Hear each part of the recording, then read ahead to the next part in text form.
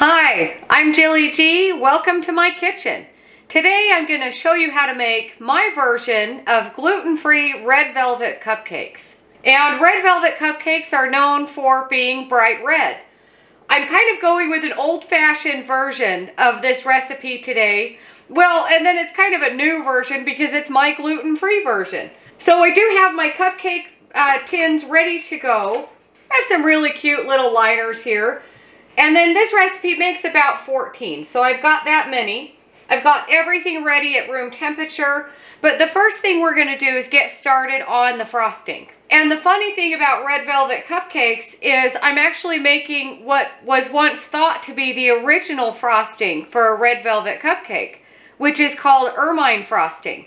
And it's a milk and flour mixture that you cook, of course, with honey or sugar, and then you cook that till it's really thick and then whip it into your butter. So I thought I would do that frosting instead of what is now a traditional cream cheese frosting with red velvet cupcakes. I also will not be using any food coloring. Back when, you know, this recipe was originally made or whoever thought it up or whatever, they didn't really have red food coloring. And there was some kind of chemical reaction between the cocoa and the other ingredients that would create kind of a red color. I don't expect my cupcakes to have that kind of reaction. Ingredients nowadays aren't made the same as they were back in the 1800s or whenever it was. Do your own research on the internet and, and look it up. But I don't want to use any red food coloring. So I expect that they will be kind of a slight brownish color because of the cocoa powder, which isn't very much at all. But I'm kind of hoping that maybe it will have a slight reddish tint. And some recipes, if you go back far enough, they used beet juice to give it the red color. I don't have any beet juice, but I think it would be fun to try that. And I think it would make a delicious cupcake. But this is what I'm using today. So the first thing I'm going to do is start cooking my flour and milk ingredients for the frosting. Actually, the first thing I'm going to do is preheat my oven to 350. So I've got a large saucepan here and then I've got two and a quarter cups of milk. I've got just shy of a half a cup of honey. And then I'm gonna go about a quarter teaspoon of salt. I'm gonna turn this on medium.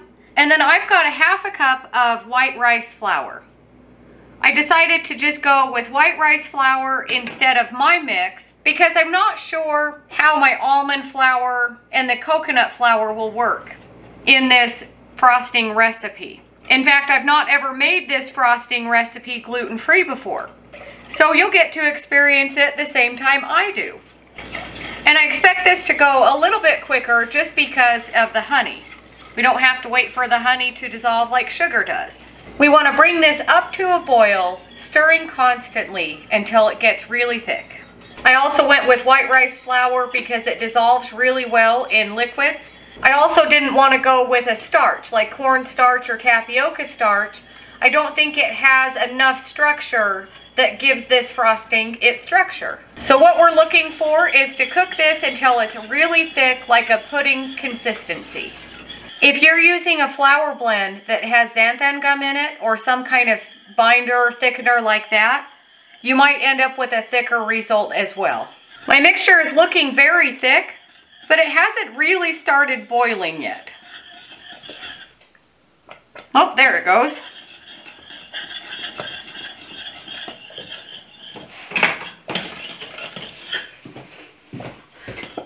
I kind of feel like I made glue. it looks really thick. I'm to stir in one teaspoon of vanilla.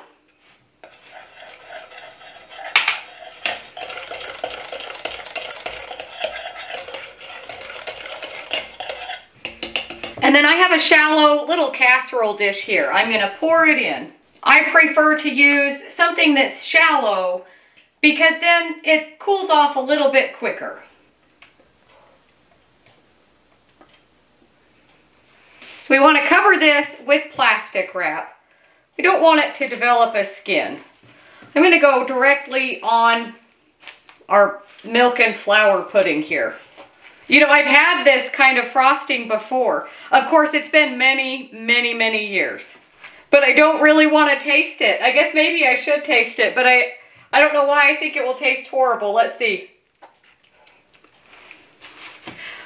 It's the strangest thing. It tastes exactly what it is. Kind of like a really thick flour pudding with just a little hint of honey and vanilla. I'm to put it on a cooling rack just to help it cool off quicker. So now for my ingredients for my red velvet cupcakes. I've got one and a half cups of my gluten-free flour. I've got a half a teaspoon of baking soda and a quarter teaspoon of salt. And then I'm gonna go with my quarter cup of cocoa powder. I always sift my cocoa powder, well, most of the time. But you wanna sift your cocoa powder because sometimes it has lumps. And some red velvet cupcake recipes call for even less cocoa powder. If you've ever had a red velvet cupcake, You'll notice that there is kind of a slight cocoa flavor, but really not very much.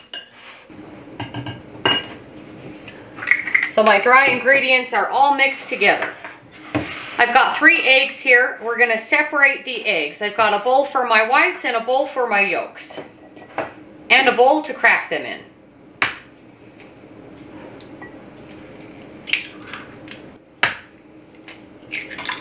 There's my three egg yolks and my three egg whites. We want to whip our egg whites to soft peaks.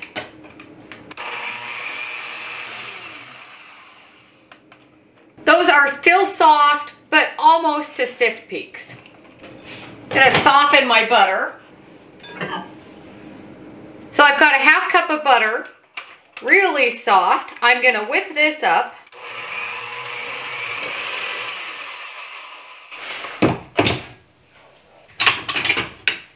You could make this with a stand mixer, but a hand mixer works just fine. So this is three quarters of a cup of honey, and then just mix your butter and honey together.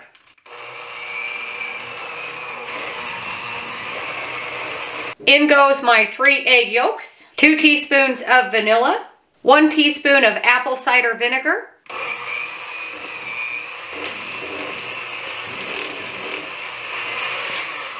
Once you've got that all mixed together, I've got my dry ingredients. I also have one cup of sour cream, and then I have a half a cup of whole fat kefir here.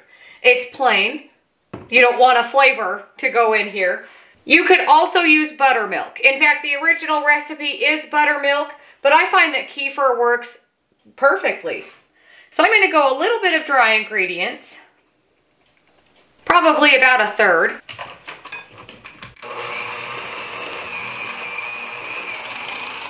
I'm to scrape my bowl down just so everything gets mixed in. I'm to add in my one cup of sour cream.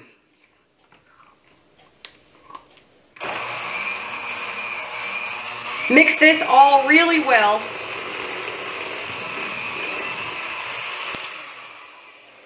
Well, there goes the rest of my dry ingredients. I was to add this in in thirds, but this is fine.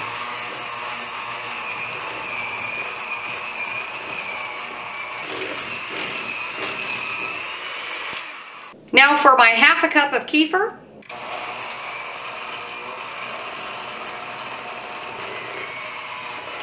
Once you've got everything all mixed together, I'm going to switch to my spatula, give everything a really good scrape. Make sure nothing got missed that's hanging out in the bottom. And now I'm going to add in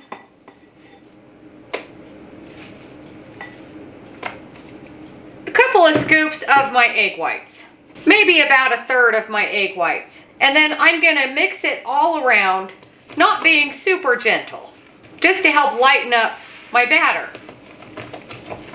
Now I'll go another third of my egg whites and fold them in gently.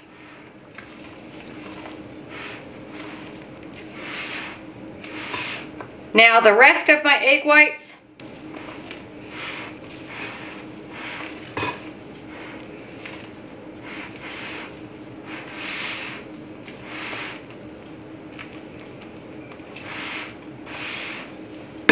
Once you've got your egg whites all mixed in, I'm to bring over my muffin pans, cupcake pans today.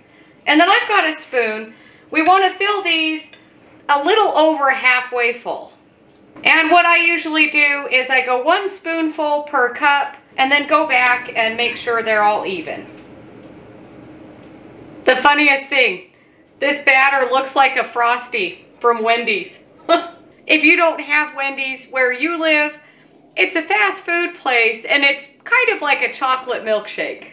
Because my batter is so light and fluffy, I'm filling them a little bit more than halfway full. And I ended up getting a couple more cupcake liners. I don't want to fill these all the way to the top and have them explode out of the pan.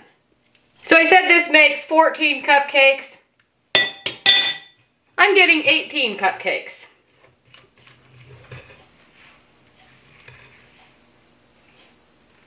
So these will go in the oven, again at 350. I start checking them at 18 minutes. And then when a toothpick comes out clean, they're done.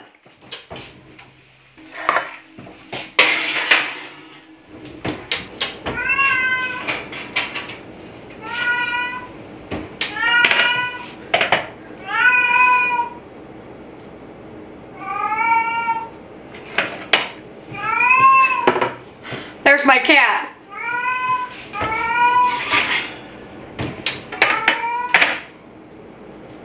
So my cupcakes went for about 20-ish minutes. And you know, it, they almost have kind of a reddish tint to them. Or I'll say light tan, pinkish, maybe. I wouldn't call these red velvet, but they do have a kind of a pinkish tint. I'm gonna let these cool off about 10 minutes in the pan and then put them on my cooling racks. My cupcakes are completely cooled off and they sunk in the middle. Sometimes that happens. And they're not all exactly the same size, and that's fine too. But I really am liking the color. Not a traditional bright red, red velvet cupcake, but that's fine with me. So here is my flour and milk and honey mixture. And it is completely cooled off, and it's really set. You don't want your cupcakes to be warm, and you don't want this to be warm. It will melt your butter and then it's savable. All you have to do is you just take your bowl and stick it all in the fridge and then re-whip it. But if this is hot, it will melt your frosting. And then if your cupcakes are too hot, it will melt your frosting.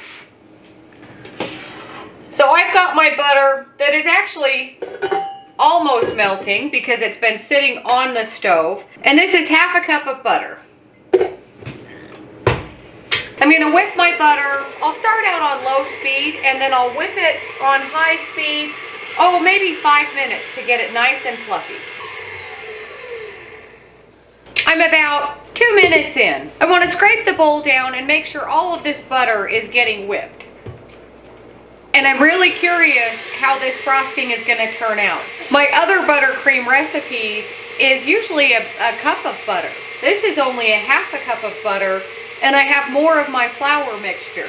The research that I've done on this type of frosting is it's not overly sweet, which is what I'm going for. And I'm also looking for a pipeable frosting or buttercream. My butter is really pale, really fluffy. I'm gonna give it a really good mix.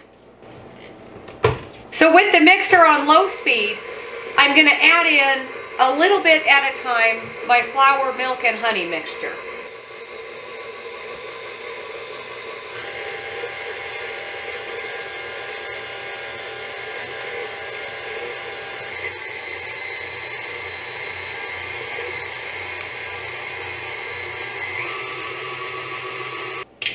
I've added in about half of my paste mixture. I do want to scrape down the bowl and see what's happening. Hmm. I think I'm going to add a little bit more.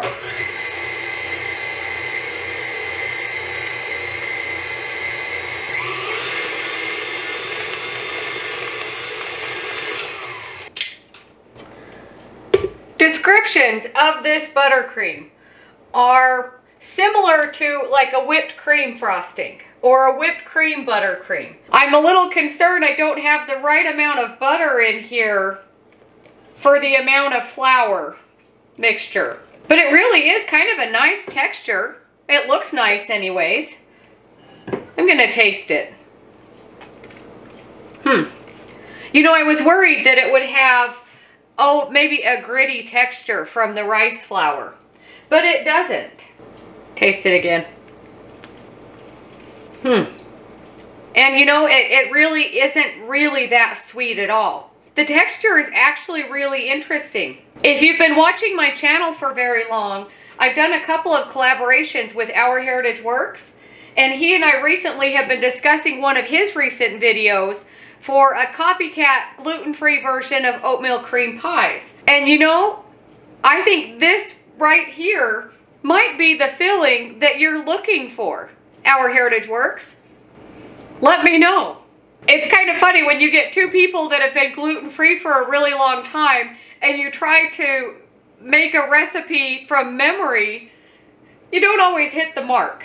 But maybe, maybe this is what you're looking for. Because I've got so much of my flour mixture left, I don't want to waste it. And I bet you I could freeze it. Trying to determine if I have enough to frost my cupcakes. And I probably do.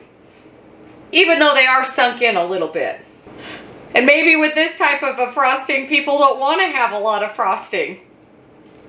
And you know, it's so interesting, the salt is, you can't, it doesn't taste salty, but you notice that it's in there and it just kind of gives it a nice flavor. Oh, what to do, what to do. If I use more of this, that has the honey in there. So it will balance out the sweetness, I think. But I think I'll need more butter. Or maybe I'll just go for it. Maybe I'll just go for it and follow the recipe exactly and put all of this in. Let's see what happens and do that. I mean, worst case scenario, we'll just add more butter. It really is changing the texture. Huh, interesting. That was the last spoonful. I'm going to scrape off my spatula and give the bowl a scrape.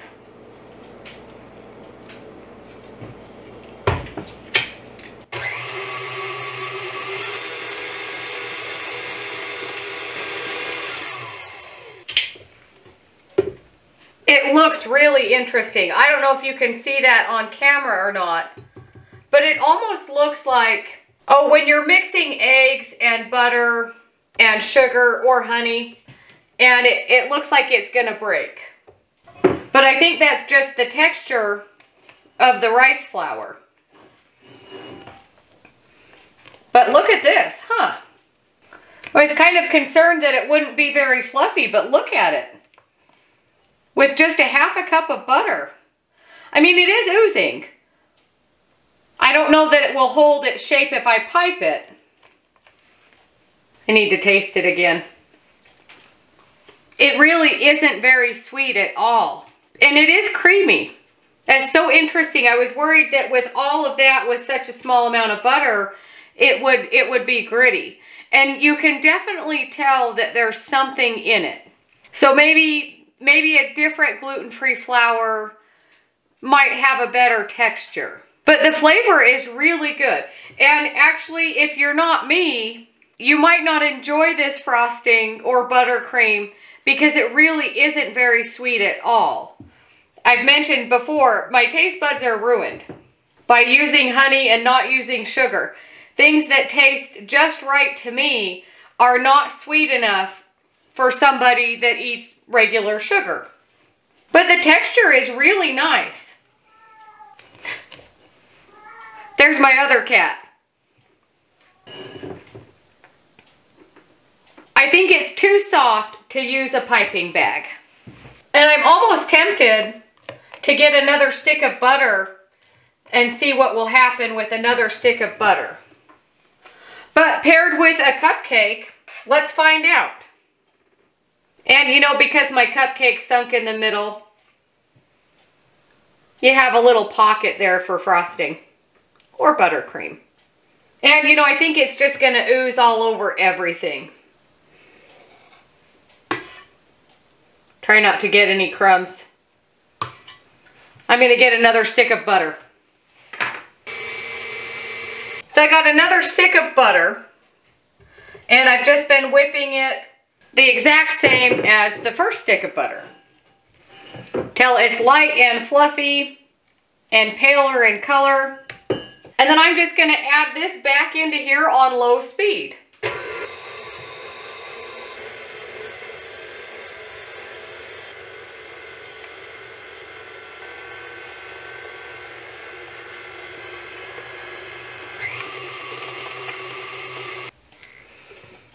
You know what it looks like? It actually looks like vanilla ice cream.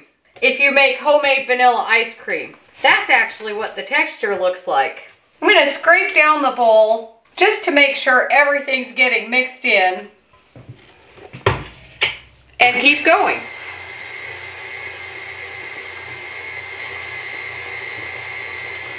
That is the last of my flour paste butter mixture. I'm going to scrape the bowl down one more time and my spatula just to get everything all mixed in and then I'm going to whip it on high speed.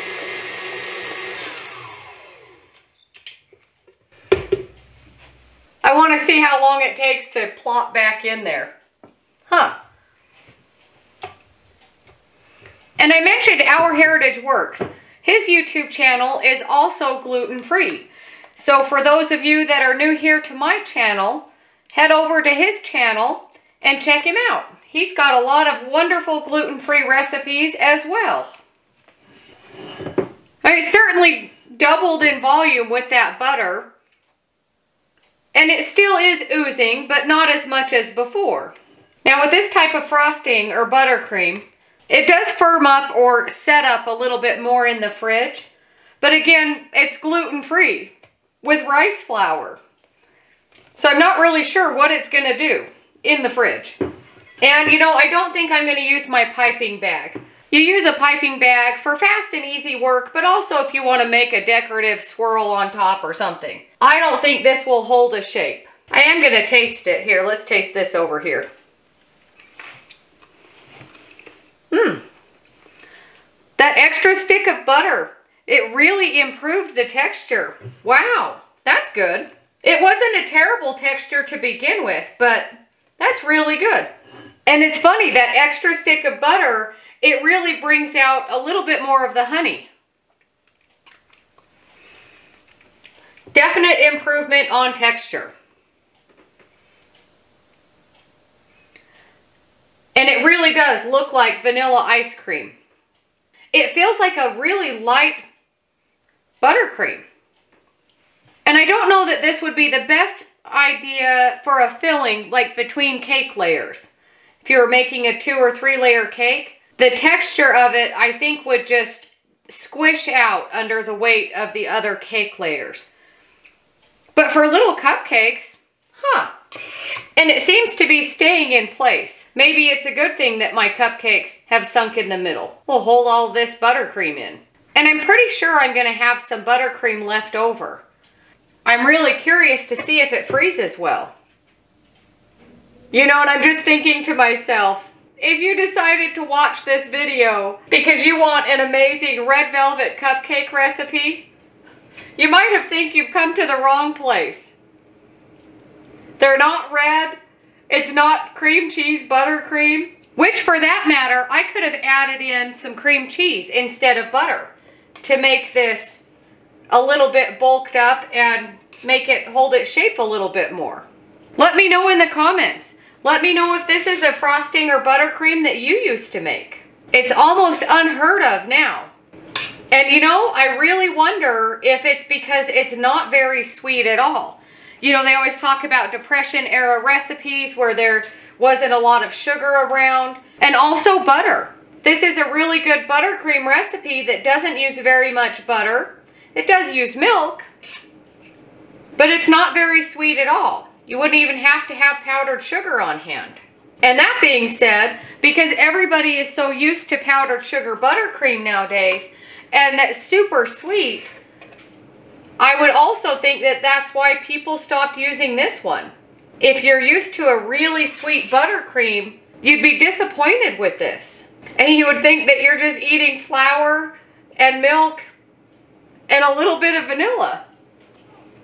Because you are. And you know, going by how much I'm putting on and how much I've got here in my bowl, I do have quite a bit left. Which means I'm gonna be making my own gluten-free version of Our Heritage Works oatmeal cream pie cookies. I think this filling will be delicious in there. I think I'll go with my original cupcake here that I was testing out the buttercream.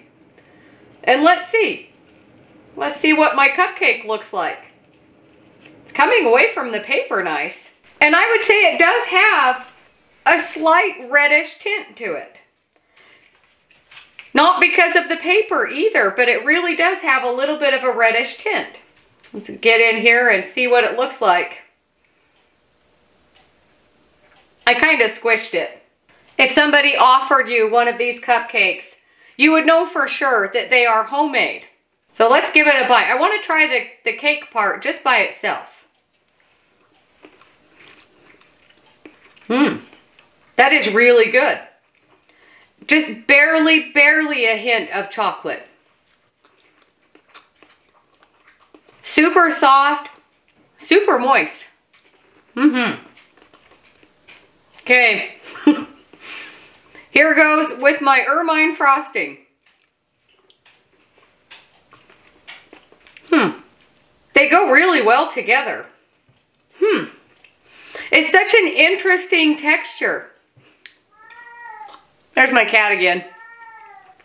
If you do any research on ermine buttercream, it will tell you that it's kind of kind of the texture of a whipped cream icing. And you know, it really is. It really does kind of have that, I don't even know the word I'm looking for. It really is kind of reminiscent of, of a whipped cream icing. Let me try it again here. Make a mess of everything. It's a big bite. They are delicious. It's a really good gluten-free cupcake. And you know, they look homemade and I don't care. I make I make homemade cupcakes. They should look homemade. And all in all, it, it's actually really been a fun kind of experiment with this buttercream. I don't know that I would make it again for a cupcake, but it's really it's really been fun. And it's actually it is delicious. If I were to make a three-layer cake or even a two-layer cake, this would work as a buttercream to cover the entire cake. I wouldn't use it as a filling in between the layers. If you're making a 9 by 13 cake, this would be a really good topping to just slather on all the top of it. That would be a really good use for it. And maybe it's the nature of the white rice flour, or maybe the ratios are a little bit different. There's a lot of different recipes out here for this kind of buttercream. Maybe you will find somewhere else to find a red velvet cupcake recipe. And even though they're not red, it still is a red velvet cupcake. It's not a red, it's a brown velvet cupcake. But that's okay. If you guys are health conscious like I am, sometimes we don't enjoy using food coloring. But still a delicious cupcake. They don't look amazing. And the buttercream is definitely worth giving a shot. If you're looking for a buttercream that doesn't use powdered sugar, that doesn't have eggs in it. So this is a really good alternative. Do some research and maybe experiment with some different gluten-free flours and you might come up with a really nice pipeable buttercream. Let me know what you think if you make this recipe. I don't know that you will, but I think you should give it a try. It's a delicious cupcake. But thank you so much for watching. Don't forget to like and subscribe if you haven't already. If you have any questions or comments, let me know, and I'll see you on the next one.